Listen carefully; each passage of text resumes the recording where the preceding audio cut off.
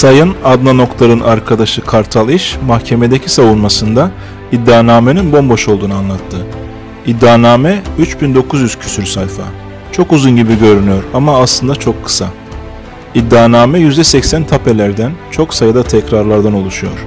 Somut delil yok. İddianamede amaç suçu bulamadım. Avukatlara sordum, onlar da amaç suçun olmadığını söylediler. Profesörlere sorduk, onlar da yok dediler. Ortada bir örgüt yok. Arkadaş grubunda olduğum için 15 aydır tutukluyum. Amaç suç bulunamamış, bulunamaması normal çünkü yok. İddianamenin tümü varım şeklinde olması gerekirken tümden gelim şeklinde hazırlanmış. Günlük hayatta yaptığımız bütün normal fiiller sözde suç gibi gösterilmiş. Normalde iddianame hazırlanırken sen suç işlemişsin, bunlar da delilleri şeklinde olması gerekir. Ama tek bir delil yok. Biz şu an soyut iddialara somut delillerle cevap vermeye çalışıyoruz.